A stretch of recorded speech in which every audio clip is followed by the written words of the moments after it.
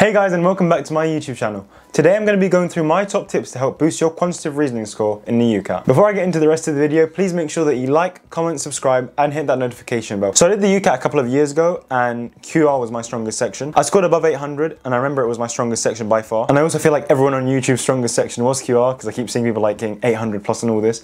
But yeah, like QR is the strongest section for most people when they do the UCAT compared to all the other ones. Obviously this doesn't mean that the QR section is easy and that's why if you think it's one of your weaker sections, you need to start working at it quickly. So my first tip to help boost your QR score is to make sure that you're able to identify the hard questions quickly. So this might sound like quite a confusing and difficult thing to do because how are you meant to understand when a question's hard or easy? To be honest, the way I think of it is by time and how I feel during the exam. So if I'm looking at a question and I feel like it has multiple steps or I feel like I've been spending more than like 30 seconds on a single question, I'll start realizing, okay, maybe I should flag this question and come back later because you have to remember that every single question in the QR section is only worth one mark. So even though you might be doing this really, really difficult question, even if you've gone through all that hassle, it's still only worth one mark. So you're better off flagging the question, guessing an answer and getting back to it later. And in the meantime, you should be using that time to do the easy questions and getting those easy marks. Bear in mind that in the quantitative reasoning section, you have 40 seconds to answer each question. So as I said before, if you feel like you're spending more than 30 to 40 seconds on one question, you should definitely just flag it and get back to it later because you will definitely find easier questions as you're going along. The way to optimize your score is to make sure that you time manage well. And this is one of the ways you can do it. So just to recap, if you find a hard question, make sure you flag, guess, and get back to the question later. This principle is the same with every single section in the UCAT because if you find a hard question, you should not be wasting time on it. It's just not worth your time. You should be doing the easier questions first. My second tip, which sort of leads into this time management idea, is to learn the keyboard shortcut for the calculator. So the shortcut is quite easy. It's just Alt plus C. But this will save some valuable seconds in the exam when you need to get the calculator out. I'd also say get used to using numlock and the keyboard because you don't want to be tapping on the numbers on screen. You'd rather just be tapping them on your keyboard. It's a lot quicker. Some other useful shortcuts you should learn are going to be linked down below relating to how you should flag a question, go to the previous question, next question, etc. So make sure that you learn all the shortcuts because they'll help you not only in the QR section, but in every single section in the UCAT. My third tip is to look at the range of data before you guess a question. So as I've mentioned before, a lot of the time you're going to be given really difficult questions that you're just going to have to guess, and you want to make sure that your guess is, you know, the most accurate guess you can make it. And one way to do this is to look at the range of data you've been given, or look at the numbers that have been given in the question. For example, you might be given a question to estimate an average between a set of values. So let's say the values are from 10 to 100, and then one of the answers in the multiple choice section is like 200. You instantly know that that's incorrect. Obviously, this is an exaggerated example, but there should be ways in the exam where you look at the range of data and you start to understand, okay, well this value is either too big or too small to be correct. So I can make an estimate out of these two answers. So again, make sure you look at the range of data before you guess because it can help boost your chance of getting the question right. My next tip is to learn the essential formulas for the UCAT. I cannot stress this enough. This will save you so much time in the exam if you know the formulas off by heart. To make it easy for you guys, I've made a document that has all the formulas that you need to know. I'll be updating it soon if I find anything extra. You can also check out my Instagram. I have some posts talking about the formulas and different unit conversions that you should be expecting in the UCAT as well. I'll have that link down below. In addition to learning the formulas, make sure you're also comfortable with unit conversions. I've also put these in the document, so don't worry about them. On top of that, you should also get comfortable with interpreting graphs and data because this comes up in both the QR section and slightly in the decision making section as well. My next tip is to make sure that when you're doing the questions, you do them in timed conditions. So many people do questions for the QR section or for all the sections in the UCAT, but they don't time themselves and it gives you an unrealistic expectation as to how well you're going to do. You're better off doing timed questions and finding out the questions that you're weaker at when you're under timed conditions. For example, for me, I found it difficult to interpret data through graphs and tables quickly during the exam. So I always knew that when I saw those in the exam, I'd flag them first and get back to them later because they just take me so much time to do before I got all the easy questions done. So doing time practice gives you a realistic outcome on the sections you're weak at and also allows you to feed into this idea of understanding what is a hard question for you. Because as I said, some questions are just difficult because they take time to understand, but other questions are difficult because they're just your weak section. So you need to know which ones they are for when you do the real exam. My second to last tip is to make sure that you do some GCSE foundation papers. Now this is kind of like an extra tip, but if you're really weak at GCSE maths or you haven't done any maths in a long time, like you haven't done it for AS level or A level, uh, I'd recommend doing some GCSE foundation papers or some arithmetic papers online, just so you can get your basic math level up. If you do these papers under time conditions as well, they can also help you out because it helps simulate the UCAT bit. And just in general, they're just very helpful in improving your maths ability, which is obviously what you need for the QR section because it's all math. And my final tip is to make sure that you use the whiteboard because you can do a lot of useful things with it. For example, when you're starting the exam, you can write down all the formulas that you need to know so you don't have to think about them actively while you're trying to answer questions. And on top of that, during the exam, you can write down key information or addition, subtraction on the whiteboard as you're going through it. I found it easier to write it down on the whiteboard than to type everything up into the calculator, especially for simpler calculations. And finally, it just helps give some clarity when you're answering the question. For me, I just found it very useful, so I'd really recommend it to you guys. So those are my top tips for the quantitative reasoning section. Now I'm going to go through some of the exam questions to show you some of the skills in action and give you a bit of an idea of how you should be answering the questions quickly. Hey guys, so now I'm going to be going through some questions. These are just some general QR questions that I found online, and I'm going to be going through them now just to give you guys a bit of a feel of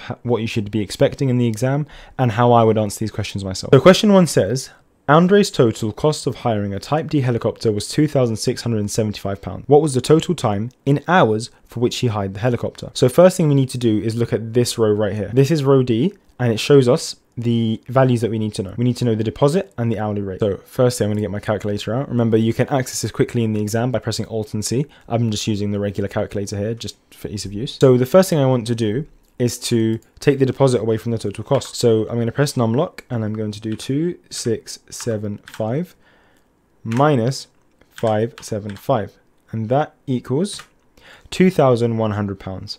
So we've got this value now. So this is the total cost of hiring the helicopter when we've removed the deposit. That's important because this deposit does not come as a part of the hourly rate. It's separate. So we need to remove this first. And after this, it's quite simple. All we have to do is use 2,100 and divide that by 5 to 5 because that's the hourly rate for the type D. And the answer is 4. So you can see how I looked at all the key information there to help me find the answer to the question. So here we've got Andre's total cost of hiring a Type D. Again, this is key information here, the Type D helicopter. The price, which is the total cost, and the hours in which we need to calculate for the actual question itself. So by doing that, I don't need to read the entire table for the first question. I just need to look at row D because this is the only thing we need to look at, which is why it's important sometimes to just read the question first so that you can look at the specific part that you need to work the answer out for. And we're just going to check the answer now. And yep, as I said, it's correct. If we look here, you can read through this in your own time. So I'm going to go through question two now. It says, if the deposit for type E helicopters increases by 30% on Saturdays, what is the total cost of hiring a Type E helicopter for three hours on a Saturday. So there's some key information that we need to pick out with this question. Number one, it's relating to the Type E helicopters only. Number two, there's an increase to the deposit by 30% on Saturdays. So we're going to have to find the percentage increase for the deposit value. On top of that, we need to find the total cost for hiring the helicopter for three hours. Let's look at this row now. This is the only row we need to look at for this question. And something important to note for E is that we don't actually have a deposit value.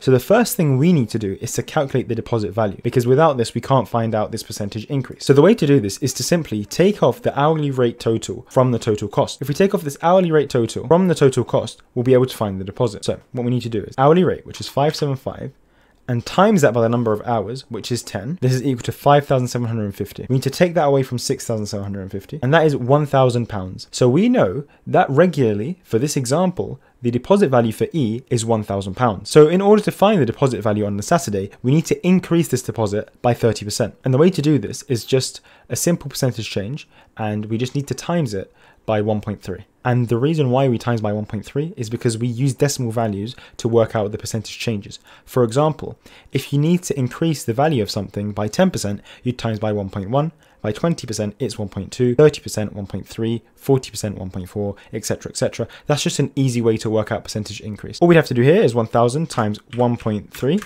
which is 1,300. This is now the deposit value for a Saturday. So all we'd have to do now is just add the hourly rate three times because it's for three hours. And if we do that, we just do 1,300 plus 575 plus 575 plus 575 equals 3,025 pounds. And that is D. I can check this now to see if I'm right. And as we know, it's correct and there's a little description here as well if you want to read that. And yeah, so that's how I would do this question. So I'm going to go through question three now. So if we read it here, it says, Rupali hired a Type B helicopter for two hours on Thursday and a Type A helicopter for six hours on Friday. By how much does Rupali's total cost of renting a helicopter increase from Thursday to Friday? So a few things here. Number one, I can easily see that this is a percentage change calculation. Check out the document in the description to make sure that you have all the key formulas you need to learn. So the percentage change formula is the new value minus the old value divided by the old value times 100. It might sound sound a bit odd, but as we go through the question, you should understand it a bit more. First of all, we know that Thursday is considered the old value because there's an increase from Thursday to Friday. And if we look at the question, we can see that it says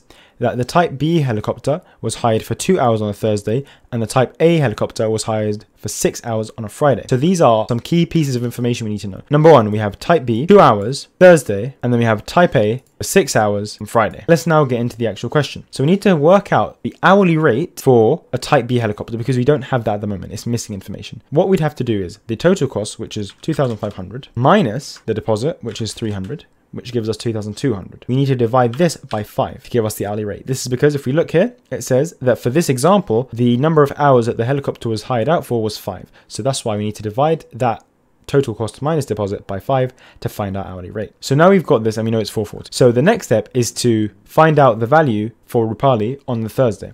And the way we do this is we take this hourly rate, we times it by 2 for the number of hours, and then we have to add the deposit, which is 300. Just to show you, bear in mind that the deposit is here. There you go. So the 300 is there. So I'm going to write this down here so we don't forget it. So this is 1180 and this is for Thursday. Obviously, with the whiteboard, it's going to be a lot quicker. Now I know the rate for the Thursday. I need to work out the rate for the Friday. Here it says he used a Type A helicopter for six hours on Friday. And if we look here, thankfully we have all the information we need for the Type A. So what we'd have to do is hourly rate, which is 225, times that by 6, which is the number of hours he hired it out for, and then add to that the deposit, which is 120.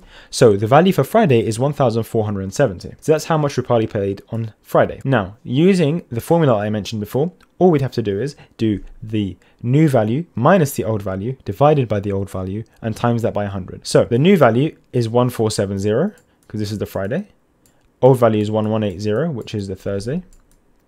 Oh, that's a dodgy 8. Divide that by 1180 and then times that by 100. So let's put this into the calculator. So we do 1470 minus 1180, which is 290. And then we'd divide that by 1180, which gives us this number. And all we'd have to do is just times it by 100. And there we go. We've got the percentage 24.57%, which is the percentage increase. If we round that up, that is 24.58. There you go, done. Then we submit it to see the answer.